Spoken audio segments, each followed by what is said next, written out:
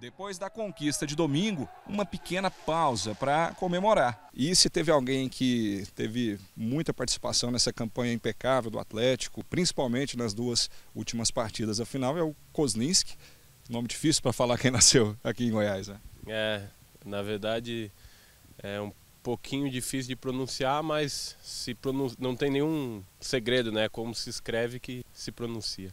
E assim, você já está sendo, tá sendo, né? Claro, a torcida considera você um dos grandes responsáveis aí por, por esse título. É muito bacana, né? Você já chegar e já ganhar esse título assim logo de cara. Sim, é, a gente esperava ser campeão, né? Trabalhou para isso. Claro que existiam outras equipes fortes e para um começo de trabalho eu que cheguei no início do ano começar sendo campeão é importantíssimo para dar moral, dar confiança, é, trazer essa confiança do torcedor no meu trabalho. É, acho que nossa equipe fez por onde, mereceu esse título. Agora é descansar do, do Goiânia e já pensar na Série B. O elenco do Dragão já está de volta aos trabalhos. O clima, claro, depois do título de campeão goiano, é o melhor possível.